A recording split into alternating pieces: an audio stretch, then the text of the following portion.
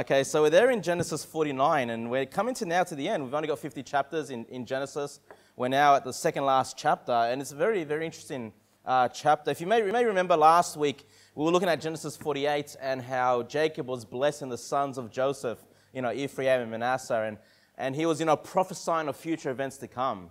Well, this continues. You know, now uh, Jacob calls for his other sons to come as he's given his final words, as he's about to pass on, and he, he continues prophesying of these future events. You know, this isn't just Jacob making things up. He's got the Spirit of God moving in him. The Spirit of God is, is helping him, you know, prophesy of future. And these things are penned for us here toward the end of Genesis, you know. So it says here in verse number one, and Jacob called unto his sons and said, Gather yourselves together, that I may tell you that which shall befall you in the last days. The title for the sermon this morning is The Last Days of Israel. The last days of Israel. Just playing on a few words there. Israel, of course, is Jacob. Okay, so we are looking at the last days or the last moments of, of Israel here. He's about to pass on. But then when he says here that he, the things that shall be before him, in the, before you in the last days, you know, when we think of last days, we tend to think of the end times. And I'm sure when someone sees that, that title for the sermon, they'll think, oh, this must be about Israel in the last days, in the end times. But no, you know, here, you know when uh, Jacob talked about the last days here, he's just talking about future events. And obviously for, for uh, Jacob, he's here now thinking about when they're delivered out of Egypt, when they go into the land that God has promised them. You know, God has promised them all along this line from Abraham to Isaac to Jacob, all these wonderful blessings of the land and the inheritance to come uh, of, a, of a physical nature, pointing us to spiritual truths. But when he talks about the last days, he's referring to that specifically. Now, as we go through this chapter, there will be some elements of what we call the end times. There will be some elements of Christ's return still coming in the future, but that's not the emphasis of this chapter. The emphasis of this chapter is what would happen to Israel when they go into the land, to, to, the land of Canaan, into that promised land. So that's what we're focusing on today, the last days in terms of from Jacob's perspective, all right, the, the latter days to come for the, his children and for the tribes that would come out of, uh, come from them. But it says in verse number two, Gather yourselves together and hear, ye sons of Jacob, and hearken unto Israel your father. Reuben, thou art my firstborn my might, and the beginning of my strength, the excellency of dignity, and the excellency of power. Now, you may recall in the previous chapter that this blessing that would have, the, the, the full blessing that would have fallen upon Reuben as the firstborn was given unto jo- uh, Joseph and, and by, ex- by extension to his children. So Reuben here will not receive the full blessing that he should have received, okay? But he's still blessed. He's still given this, this future prophecy to come, it says here, Reuben, thou art my firstborn, my might. So we see there, yes, he is the firstborn of, of Jacob. But then it says here, and the beginning of my strength.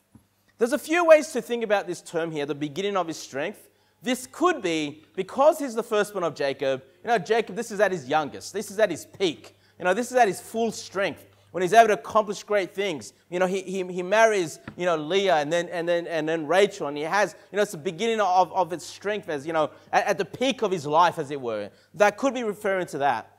But I think what he's referring to here is the beginning of his strength in the sense that the beginning of his offspring. That Reuben will be the first of the other sons and his daughter uh, Dinah to come. And he's looking at his lineage, he's looking at his genealogy, he's looking at his children as his strength. And Reuben there is the beginning of that strength, of that line to come. And I think, you know, again, when we look at the Bible and we look at how, how God and how the men of God would look at children, it is so different to the way the world looks at children today, of course.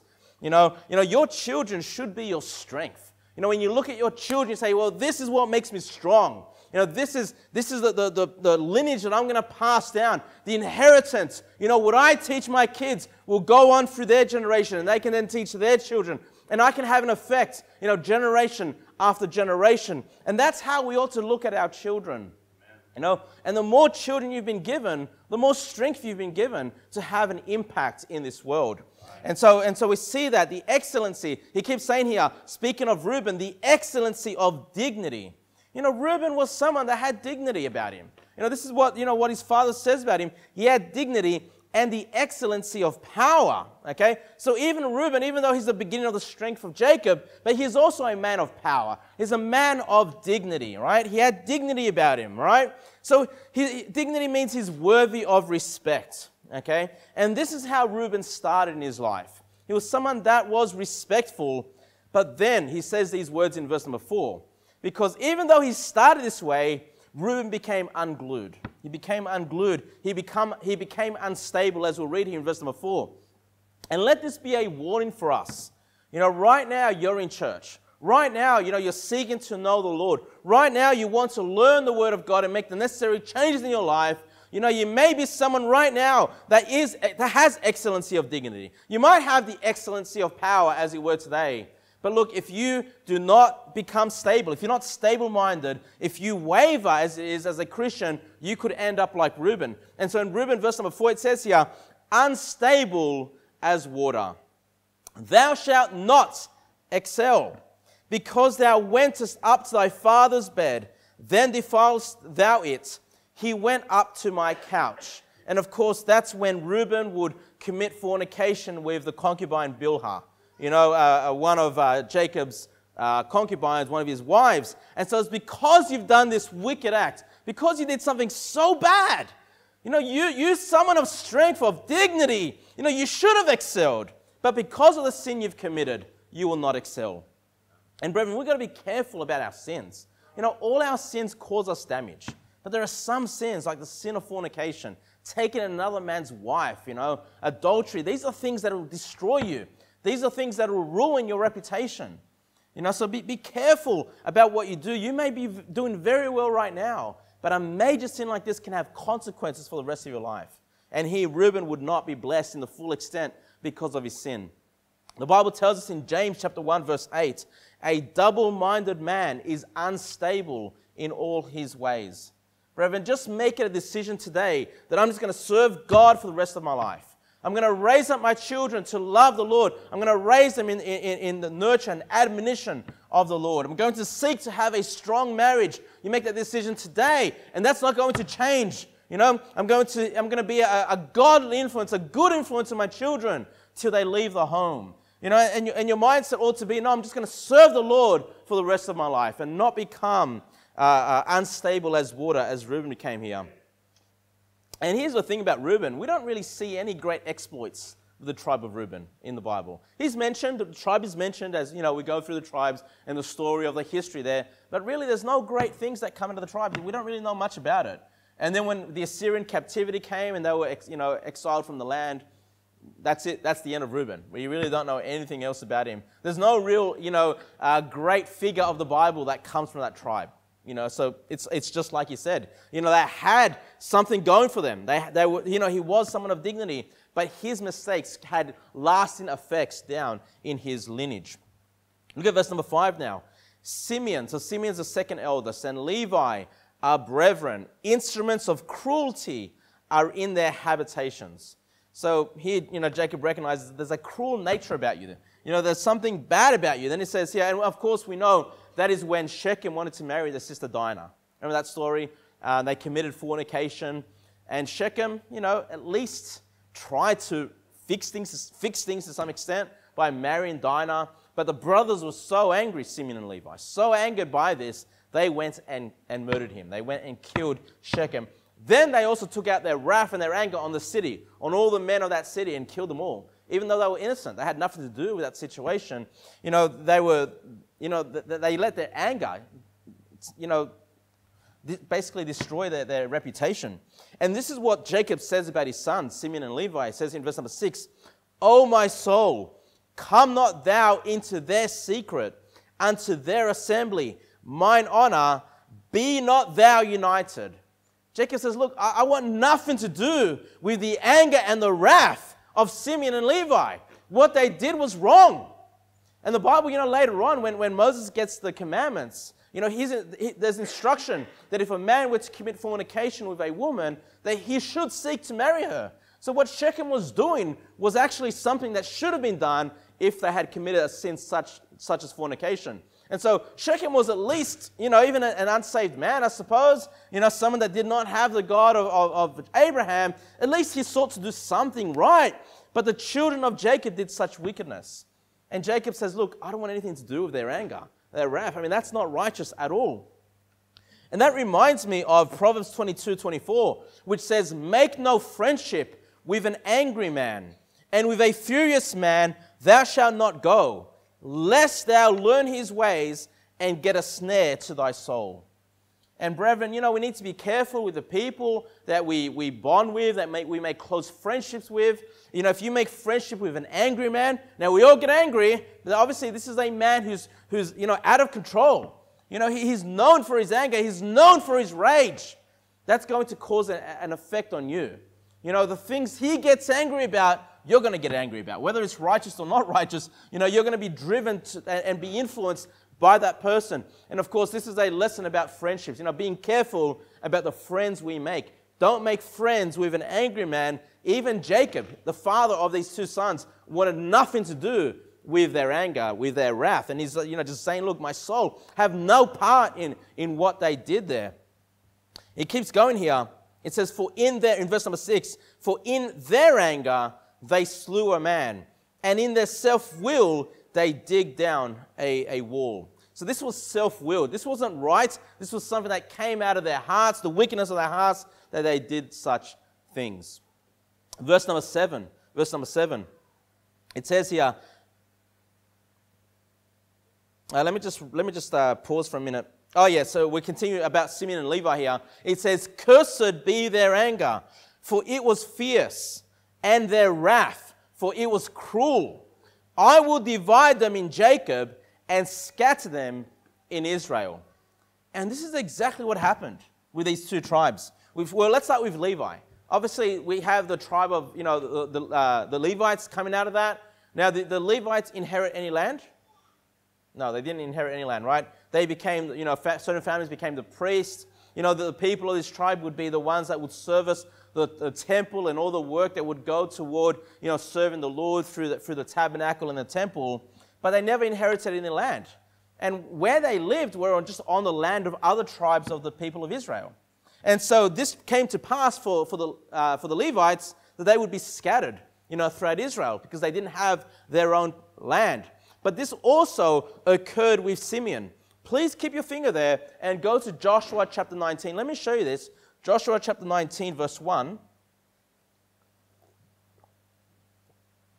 Joshua chapter 19, verse 1 because uh, I don't know how well you know the story, but after you know the Israelites come into the land of Canaan, they start dividing the land. They start dividing the inheritance for the different tribes.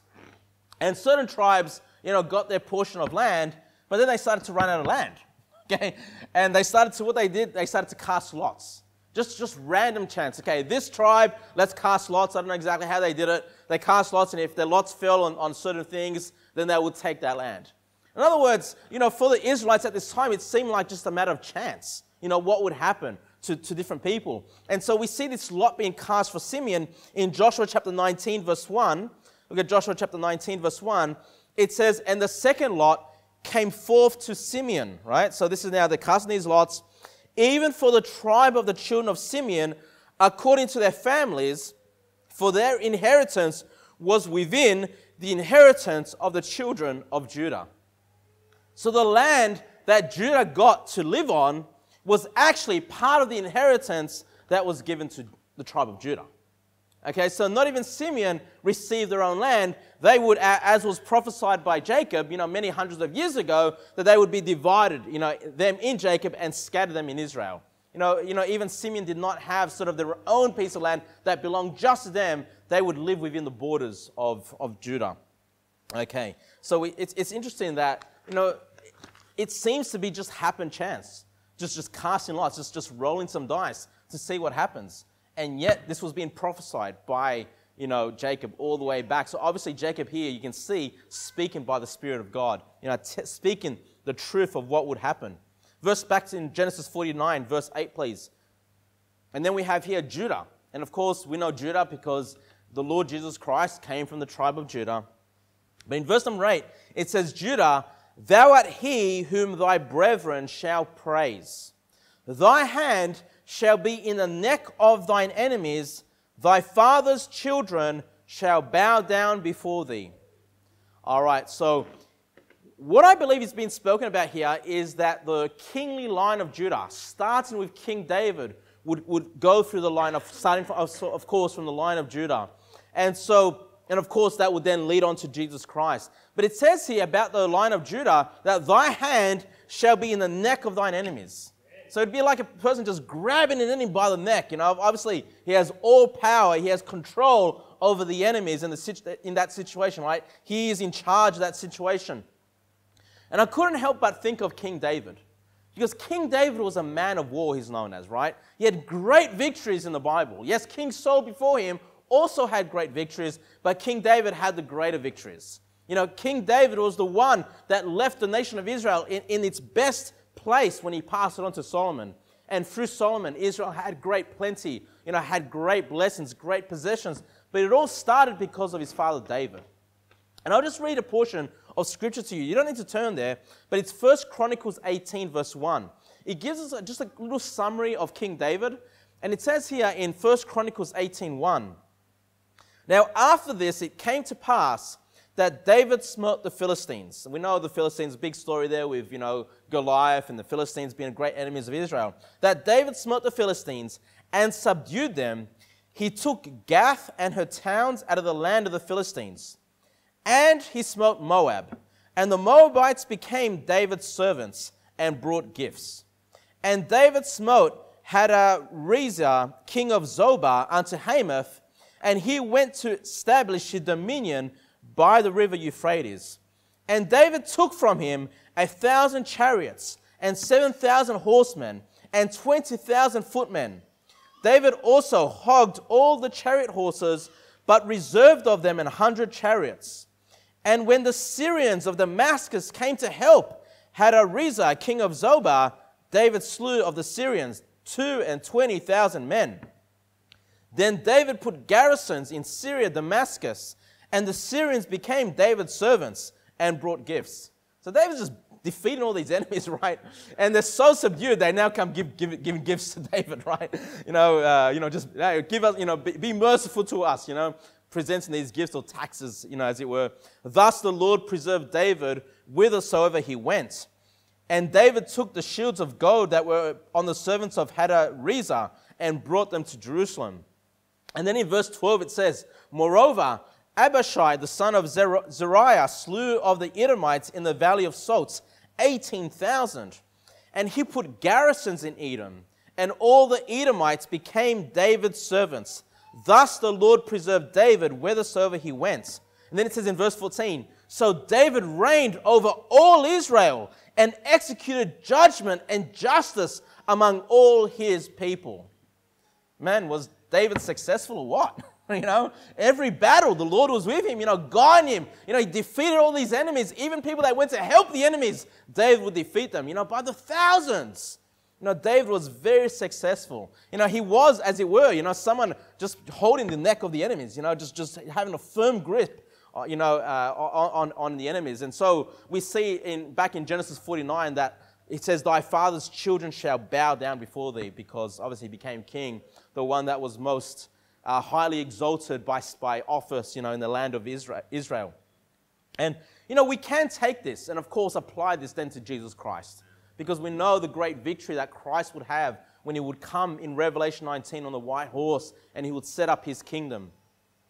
And I do believe the next verses, these are highly debated, you know, and very cryptic, very cryptic verses that we're about to read, but I do believe this points us to Jesus Christ. And in verse number 9, Genesis 49, verse 9, it says, Judah is a lion's whelp. Now, if you don't know what a whelp is, it's like a, a, a puppy. Okay, it's like a small animal, you know. And so it says here that Judah is like a lion's whelp. It's like a little baby lion, is what it's saying here, right? But it doesn't remain as this little lion. It says here, From the prey, my son, thou art gone up. So this little lion is growing up. You know, now he's going for prey. You know, little, little baby lions, they, they don't go and hunt. Usually their mother goes and hunts and brings them food. But then they're taught how to hunt. They're, they're taught how to go after prey. And so we see this little lion starting as a little child, but then it goes and hunts itself. And then it says here, From the prey, my son, thou art gone up. He stooped down. He couched as a lion. To, to couch means that he just like, he's laying down, right? It's kind of like the word couch. What do you use on like, you know, you lay down on the couch. It's kind of that, that same idea. He couched down as a lion, but now it says, and as an old lion. So this lion has gotten even older. Now he's an old lion. Who shall rouse him up? You know, when you see a lion, you know, don't, we don't have lions here, but if you, see, you know, if you're walking and you saw a lion just sleeping, just laying down on the ground doing nothing, would you rouse him up? Would you go up to that lion and wake it up? Hey, lion, wake up! No, you wouldn't. You'd be killed, right? The lion would just slash at you with his claws, take a bite at you, and they, they, there's your life. It's gone, right? The, the lion's powerful, is what is being said here. You know, you're not, you, don't, you don't dare go up against that lion. But that lion started as a little whelp, you know. And what I believe is being taught here is that when Christ came, he, he came in the manger, you know, innocent, you know, just, just a little child, you know, and, and you know, he, he, he couldn't defend himself as a little child. Of course, you know, when Herod tried to kill the Lord Jesus Christ, they had to flee into Egypt, you know. But then as this lion grew, you know, Jesus Christ, the lion of Judah, many times referred to, you know, he, he became a powerful person, you know. And then here, what I believe is being referred to here when he's couched as a lion, who will rouse him up, is when he comes back. You know, and he's the king of the entire world. He sets up his kingdom in Jerusalem. He's reigning over all the powers. Like, who's going to go up against Christ? You know, he's going to have the world at his hand. The Bible tells us in Psalm 2:9, a prophecy of Christ. It says, Thou shalt break them with a rod of iron. Whatever enemies, you know, the Antichrist, the beast, coming against Christ and his armies, you know, Christ just speaks. The word of God comes out of his mouth and destroys of the enemies. You know, he's going to rule with a rod of iron. And it says here, Thou shalt dash them in pieces like a potter's vessel. You know, it's like if you take a piece of pottery or a, piece, a glass or something and you just smash it and it gets, you know, shattered. That's what Christ is going to do to the enemies that come up against him. You know, who's going to rouse up that old lion? You know, that's, that's who Christ is, you know, I believe. And then it says here, you know, verse 2, Psalm, Psalm 2, verse 10 Be wise now, therefore, O ye kings. Be instructed, ye judges of the earth. Serve the Lord with fear and rejoice with trembling. And so, you know, I believe at that time in the millennial reign of Christ that, you know, you better not go up against Christ. you know, or he's just going to destroy, you know, whatever enemies may come up against him. You're better off just being submissive to Christ, you know, receive him as God, as the Lord, as your Savior, and just serve him with fear and trembling. And then it says here, you know, speaking onto these things, you know, Christ will, you know, will be the King of Kings, of course. He is the King of Kings. But then verse number 10, it says, the scepter. And a scepter is, you know, like a, like a rod, you know, and it's, you know, often given to kings or monarchs, people of authority. It, it just refers to authority, power, you know, a, a high office, as it were. And it says here, the scepter shall not depart from Judah. And when God, you know, promised that David would be king, he would, you know, God would speak of an everlasting kingdom, that nobody would stop sitting on the throne of David, as it were.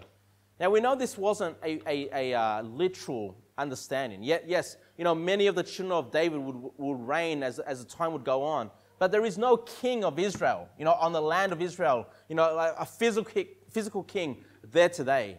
But because we know that would be given ultimately to Jesus Christ. That Jesus Christ is known as the Son of David many times as we read the Gospels, right? And that's just referring to him being the rightful king. And Jesus Christ, of course, is the eternal king, you know, ruling and reigning forever. And so it says in verse number 10 the scepter shall not depart from Judah, nor a lawgiver from between his feet, until Shiloh come.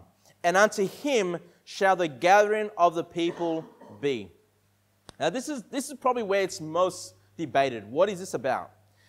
Now, when it says here, until Shiloh come, first of all, if you look up the word Shiloh in your Bible, besides this passage, it is always referring to a, a piece of land. Okay, there was, there was a piece of land in the land of Canaan that was known as Shiloh. And uh, it talks about here, and unto him shall the gathering of the people be. Well, a few times in the Bible, the Israelites would gather together in Shiloh. Okay? And so some people think because this is talking about, you know, future events to come, about the land of Canaan, this is just referring to that piece of land being a place where they would come and often, uh, you know, they, they came there and they divided the land, as it were, from Shiloh and from Shechem. They were close, close uh, from one another. And so some people say, well, that could be what it's referring to. My issue with that, though, is it's when it says here, until Shiloh come, and unto him shall the gathering of the people be. It's not doesn't seem like it's a piece of land if the land is being called him. Okay? And so what I believe this is referring to is Shiloh being Jesus Christ. Okay? And Shiloh means peace, by the way. You know, it's defined as peace. And of course, Jesus Christ, the, the Prince of Peace, but also in Second Thessalonians, uh, or sorry, I don't have the passage here, but also, you know, the Bible refers to Christ being our peace. You know, the, the peace that brought us into reconciliation with God the Father. And so that's what I believe is being spoken of here is that Shiloh would be Jesus Christ. He would be ultimately the one which would, the, the scepter would not depart from him.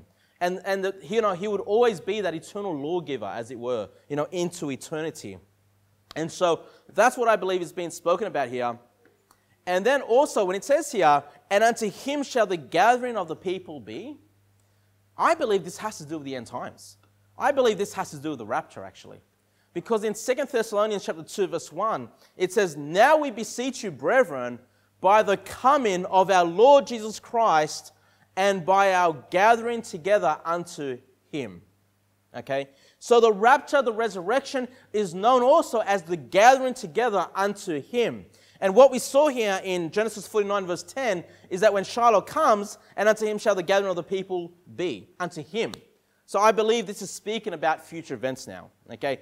for us in the future, where Christ would come back and his people would be gathered together in the clouds to meet him in the air. And of course, Jesus Christ is our peace, is the Prince of Peace. But it keeps going here in verse number 11, Genesis 49, verse 11. And again, these are very cryptic words, but this is what I believe it's referring to, okay? Let's read it first. It says, Binding his foal unto the vine, and his ass's colt unto the choice vine.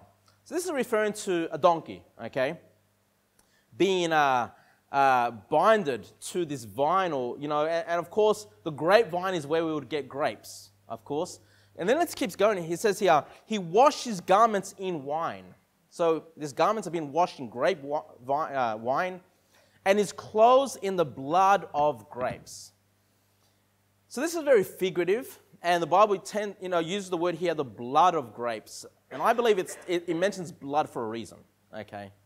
And then it says, His eyes shall be red with wine, and his teeth white with milk.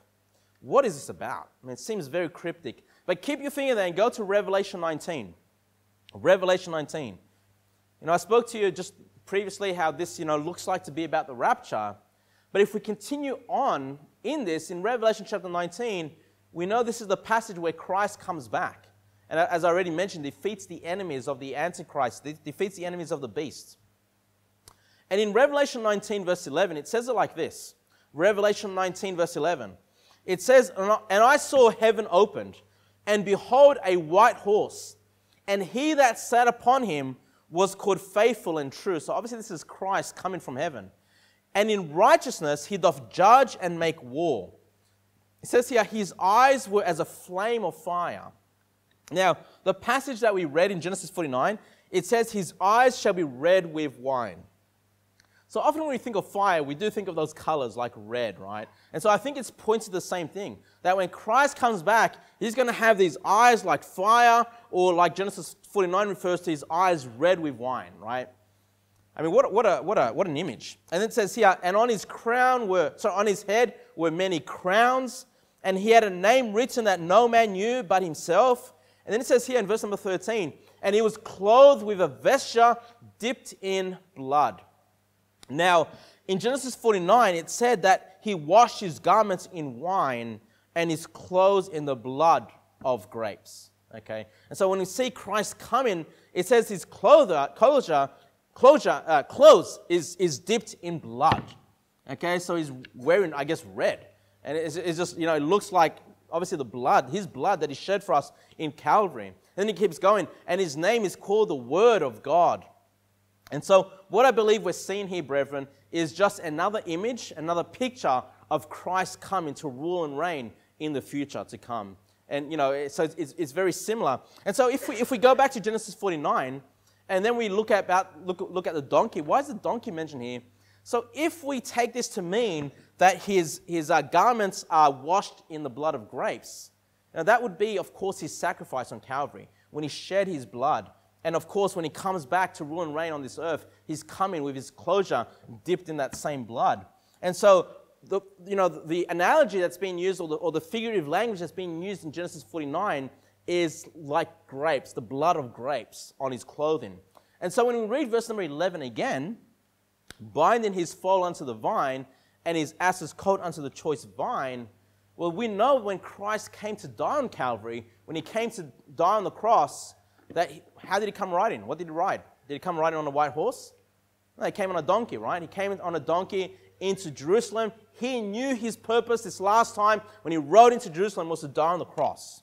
And so, what I believe is being referred to is that, yeah, he's binding his, his, his donkey onto this vine.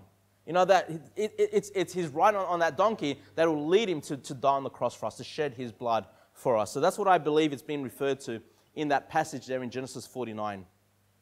Let's keep going. Verse number 13. Zebulun shall dwell at the haven of the sea and he shall be for an haven of ships, and his border shall be unto Zidon. So this is interesting as well. Keep your finger there and go to Joshua 19. We did go to Joshua 19 before to look at the tribe of Simeon and the land that they would inherit. But look at Joshua 19, verse 10. And again, this is another lot. This is another uh, chance. You know, where is Zebulun going to live? Where are they, what, what land are they going to live on? What land are they going to possess? And in Joshua chapter 19, verse 10, it says here, and the third lot came up for the children of Zebulun according to their families. And the border of the inheritance was unto Sarid.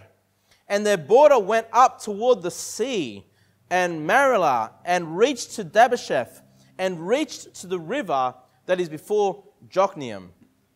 So isn't it interesting? Another chance lot, another just rolling of the dice. Let's see what Zebulun gets. And what do they get? They get their border up toward the sea. And, and what did you know Jacob say? That Zebulun shall dwell at the haven of the sea. Uh, Joshua just prophesying of these amazing events. You know, even these random chances were known by God and prophesied of God. You know, sometimes we think of our lives and we think about just a random chance where we find ourselves. You know, why, you know, we may be working certain jobs, why we're living where we live. You know, why we started maybe the church here on the Sunshine Coast. You know, might look like random chance, but God knew about it. You know, God's hand was already involved directing our paths. You know, if you love God, you know, God will direct your paths. If you acknowledge God, He will direct your paths. Things in life might seem like chance events, might like seem random things to you. You know, you, you could have gone with, with option A or you could have gone with option B. But many times God has His hand directing you, whatever choice you thought you may have had, you know. And so we see this, this, this amazing truth come to be as Jacob speaks these words. I'm not sure how much Jacob really, you know, is aware, but obviously he's speaking through the power of the Holy Ghost here. And these things are penned for us in the Word of God. Back to Genesis 49, verse 14. Genesis 4, uh, 49, verse 14. And uh, when it comes to Issachar here, or Issachar, I probably, this is probably the, the tribe that I had the hardest to sort of understand. But let's read it here. It says, Issachar is a strong ass couching down between two burdens. And he saw that rest was good, and the land that it was pleasant, and bowed his shoulder to bear, and became a servant unto tribute. So it's saying here that Issachar, the tribe of Issachar, would eventually be a servant unto tribute. They'd eventually have to pay sort of taxes to live where they are. Now, I, I did extensive study, going just through the Bible, looking at this tribe, preparing for this sermon. I just couldn't find anything. Now, maybe I've missed it. If you guys have some ideas where, you know, this tribe uh, were paying tax. I mean, obviously it happened. It happened. But it may not necessarily be recorded for us in the Word of God when this happened. But if you've got some ideas for this, please let me know what that is. So I don't really know exactly what this refers to, but I, th- I thought we could take a lesson from this. It says, look at verse number 14 again. Issachar is a strong ass, okay? So it's, a, it's being described as a donkey, like a strong donkey, right? It's a donkey that can carry its own burdens, it, it can be put to work. But it says here that instead of doing the work, it's couching down or it's laying down between two burdens. Okay? So there are burdens this ass can do. It, There's work that it can do. But instead of doing the work, it's just laying down between. So it sounds like they're a bit lazy. Okay? It sounds like they have a lot going for them. They can be very productive. They can do great works, but they're just laying down doing nothing, and the burden just sits there. Okay? That seems to be what's happened. And then it says here in verse number 15, and he saw that rest was good. You know, he saw that rest. So it's kind of like he's just rather rest than work, right? And the land that it was pleasant. So he's just enjoying the land. He's just enjoying, you know, where they are. But then what happens to it? And bowed about his shoulder to bear. So eventually he would bear and became a servant unto tribute. Okay? So eventually they are forced to work, but it's kind of like to pay taxes. All right? So I'm thinking, well, what's this about? And I, I thought of this proverb, Proverbs 12 24. Proverbs 12 24 which says, The hand of the diligent shall bear rule, but the slothful shall be under tribute. Okay, let me read that again. The hand of the diligent shall bear rule, but the slothful shall be under tribute. So I think this is what happened to this tribe, right? They should have worked hard. And I think the lesson here is, brethren, you know, we should work hard, you know, be productive, don't be lazy. I know we live on the Sunshine Coast. I know it's beautiful. I know we just love to relax and just enjoy this piece of land. But really, we should be productive for the Lord. We should be productive. Do, do, you know, do the works that, you know, the ability that God has given us to do. You know, put it to work so we can be someone that bear rules. We can have authority. We can, we can have a say in how things go. We can be an influence on other people. Otherwise, if you're lazy, you'll be put on the tribute. You know, you'll be working for other people. You'll be paying, you know, taxes for, for other people, as it were. So let it be a lesson. Even though I don't know exactly what happened to this tribe and what events took place, at least we can see some spiritual truth that we can apply to ourselves. Genesis 49, verse 16. Next tribe, Dan. It says here, Dan shall judge his people as one of the tribes of Israel. Now, I believe this is referring to Samson. Because when we think about all the judges that we read about in the book of Judges, who's the most famous by far? Definitely Samson. I mean, we have many chapters of the life of Samson. And Samson came from the tribe of Dan. Okay? So, what I believe here, and I'll tell you why as well when we look at verse number 17. So, I do believe this is referring to, to the most famous judge, Samson. And then in verse number 17, I do believe this is a cryptic prophecy of what would happen, happen to Samson. It says, Dan shall be a serpent by the way so just a, a, an adder in the path. So this little reptile, you know, slithering. And then it says here, that biteth the horse heels, so that his rider shall fall backward. So what I believe this is referring to is that this horse were the Philistines. Now remember the Philistines were at war with Israel. Samson was risen up to defeat the Philistines, and eventually he would. Eventually he would. But it's referring to here like a serpent that takes down a horse and that the horse rears up when he gets bitten and the rider falls backward. And yeah, the Philistines were destroyed. You know, God did use Samson, even though he made a few mistakes in his life, God did use Samson in a powerful way to judge his people, but also to bring judgment upon the Philistines at that day.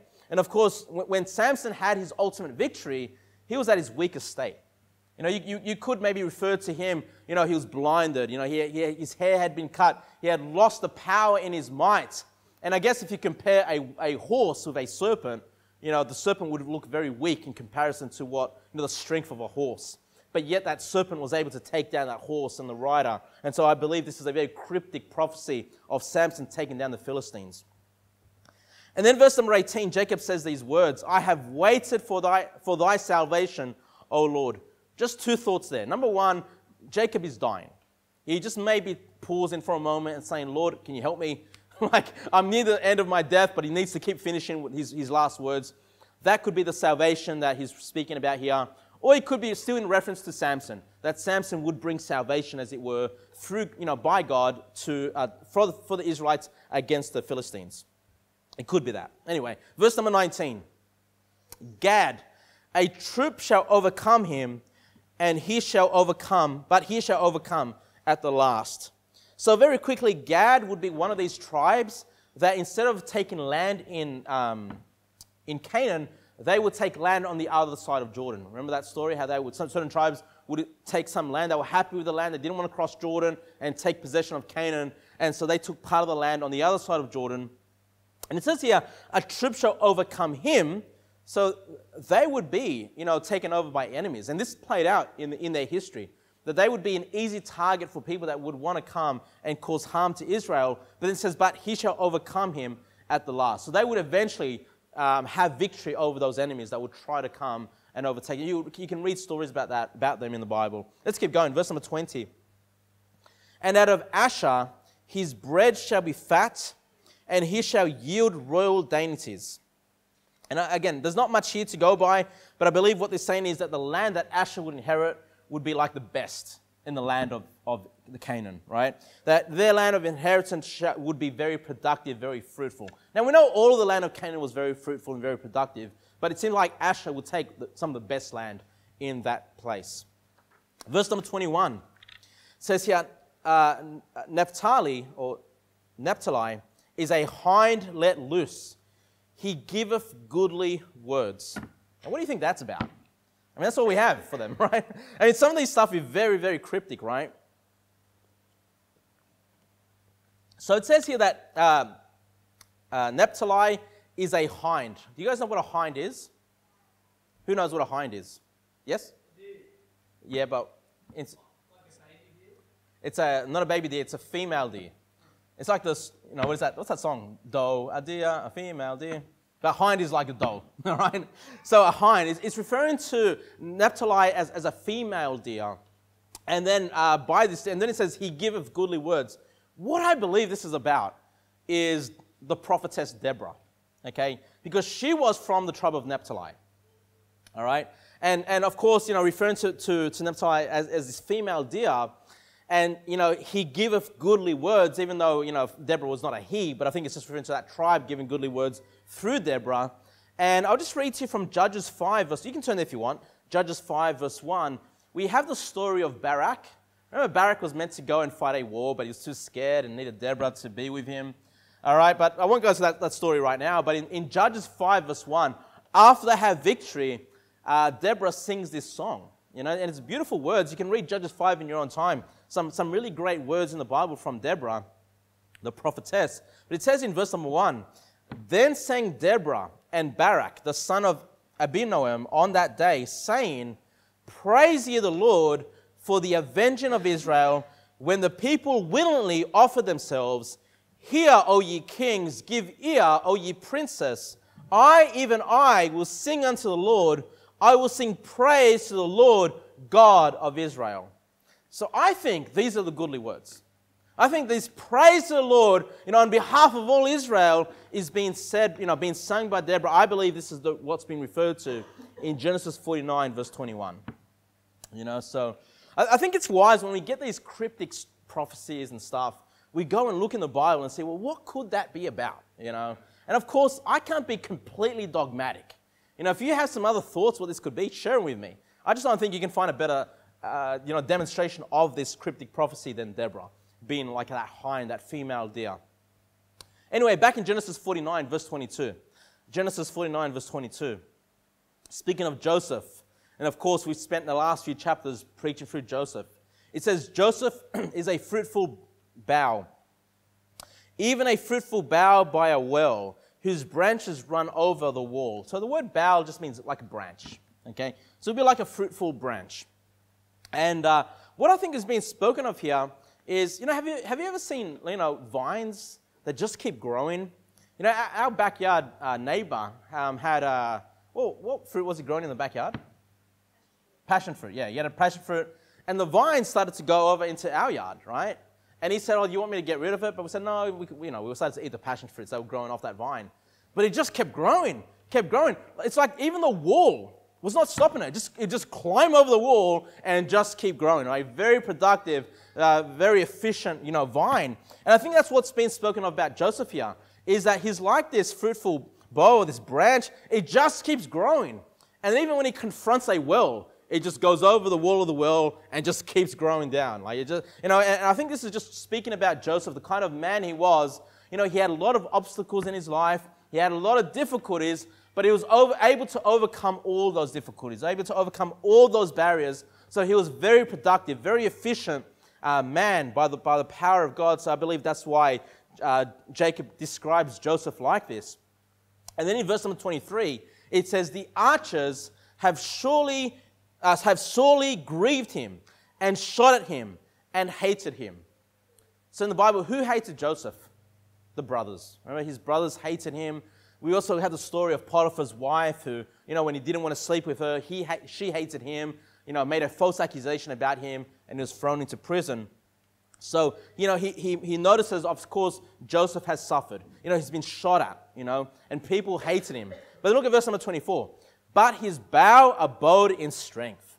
Yeah, he was able to overcome those difficulties, overcome those challenges. Why? He says here, and the arms of his hands were made strong by the hands of the mighty God of Jacob.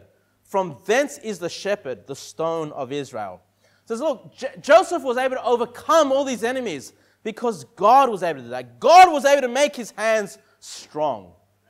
And brethren, when you're going through difficulties, when you're going through challenges, just put it in your mind and say, well, this is going to make me strong. If I can overcome this difficulty, if I can have the strength of God, I can be stronger than I've ever been.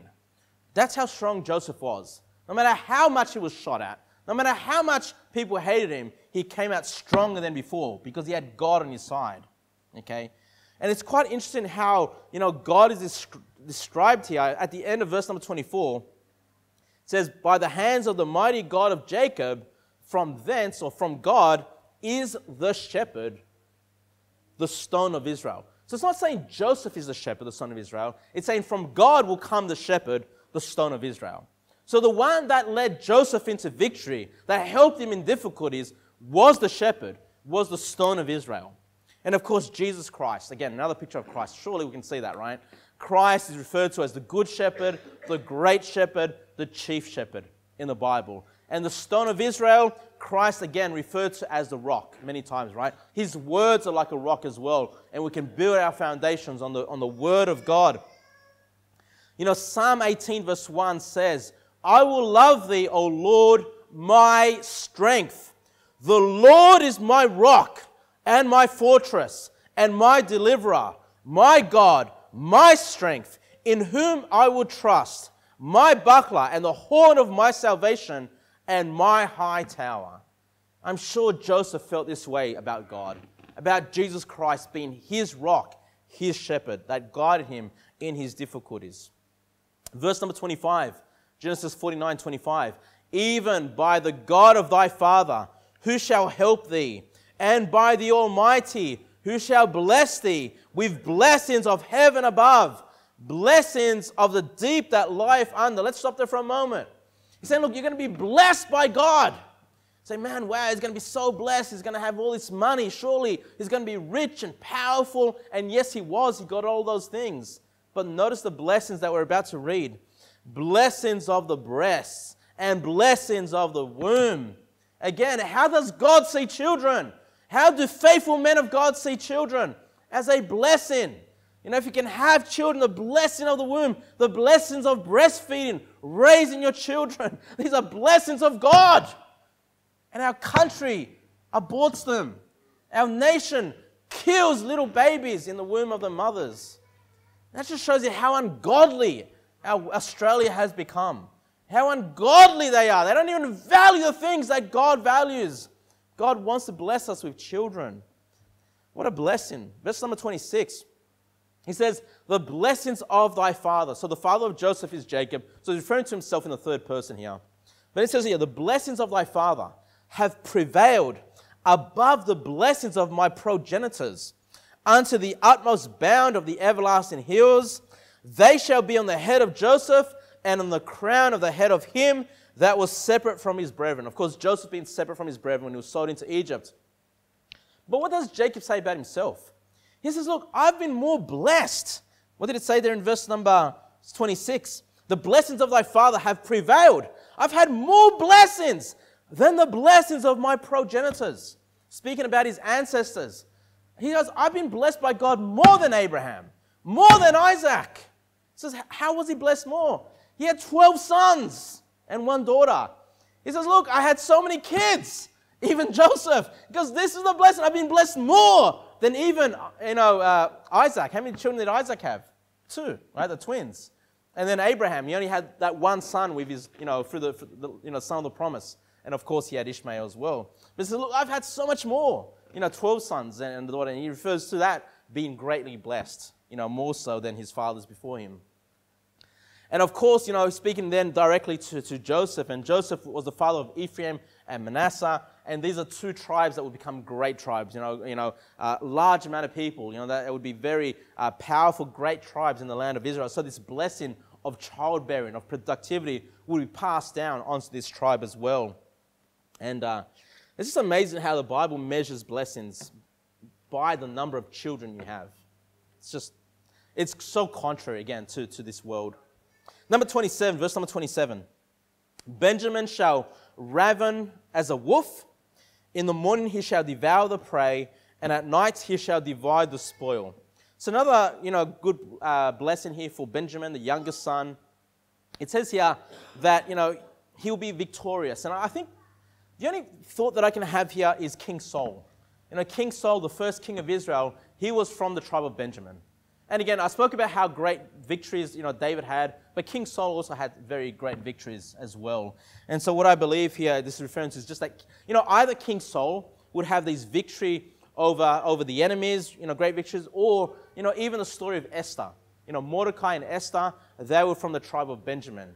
And we know they also had a great victory against Haman, you know, the, the great enemy that would try to destroy them and all the Jews.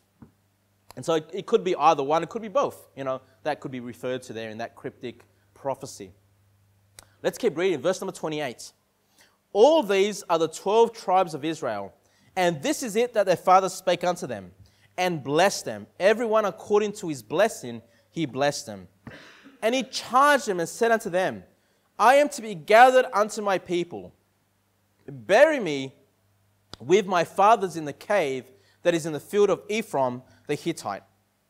And in the cave that is in the field of uh, which is before Mamre in the land of Canaan, which Abraham bought with the field of Ephron the Hittite for a possession of a burying place. And they buried Abraham and Sarah his wife. There they buried Isaac and Rebekah his wife, and there I buried Leah.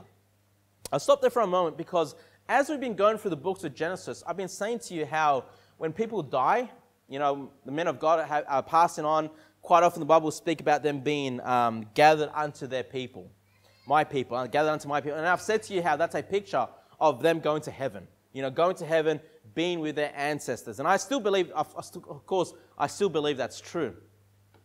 But I've heard it said, and this is because of verse number 29. Let's read it again. I've heard it said that being gathered unto their people, I've heard this preached before, is the fact that he will be buried with his ancestors. And that's what we just read, right? He says there, and he charged them and said unto them, I am to be gathered unto my people. And then it says here, bury me with my fathers. And we, we read how they've all been buried there in that same place. And they've said, well, see, being, being gathered unto your people means you're being buried in the same area as your forefathers. I can, I can sort of see that from that verse, but if we keep reading, we'll see that's not quite accurate. That's not true. Let's keep going there, because it says here in verse number 32 the purchase of the field and of the cave that is therein was from the children of Heth. now look at this. And when Jacob had made an end of commanding his sons, he gathered up his feet into, his, into the bed. So he's finished blessing all his sons. He knows he's about to die. So he gets back into bed and yielded up the ghost. Okay, so he gave up the ghost. It's quite interesting because we know that Christ, when he died, he also gave up the ghost. And look, I, you know, I've heard it said, you know, obviously most people will just die and, you know, they, they have no thought about that. You know, people can die by accidents and stuff like that. But I've heard it said that people that are very close to death, you know, let's say they might be struggling with a terminal issue and they know they're close to death, it's like they just know they're about to pass on. And they often ask to see their loved ones if they can, you know, one final time. It seems like here Jacob just knows he's about to die. And even to the point where he has some control over yielding up the ghost. you know, it's like you know some people are just on that on the final legs and they're just they're just fighting. You know, and uh, you know if I can just uh, you know tell you very quickly, you, you, guys were praying for my next door neighbor that we had down in Sydney, Donna. And Donna, she was terminally ill with cancer, and we eventually gave her the gospel. She got saved. but she could have passed on at any point. You know, and I truly believe, you know, Christina and I would see her. She was, she looked bad, and it's like she could die at any moment. But she had some last business to deal with, some last documents for her children, you know, legal issues. And it seemed like the only thing that was keeping her alive was just making sure these final documents were completed for the will and all those kinds of things. Honestly. And it, it, that's part of it, but also, you know, the, the opportunity that God gave us to give her the gospel, just those final moments. It seems like when she got that sorted, then she just passed on. Okay? And you often see this happen. It's like, it's like when they come into the end of their life, they just, they're able to almost time when their death is going to be. But notice this. He goes, goes into bed, he yields up the ghost, and was gathered unto his people. So while he's there, dying, he's gathered unto his people. So his body wasn't even taken to be buried. You know, it had to be taken far away to be buried. That didn't even take place yet. He's on the bed, dying, gives up the ghost, and the Bible says he was gathered unto his people. Meaning, right there and then, he was with his people. Okay, so this is a reference to dying. And brethren, when you pass on in this life, you're going to be gathered unto your people. You're going to be gathered unto your loved ones that have gone before, those that are saved, you know, those that are your forefathers in the faith. You're going you're to be gathered unto Jacob and Abraham and Isaac, and you're going to see Jesus there, and you're going to see all the great prophets there, all the great men of God when you pass on and you're going to be with your people. So I hope that was an interesting chapter for you to go through. Um, it, it, was quite challenging to prepare because there's a lot of these little cryptic prophecies, and you've got to find it in the Bible. Where does this play out? And um, I hope you'll be able to take something out of that. Let's pray.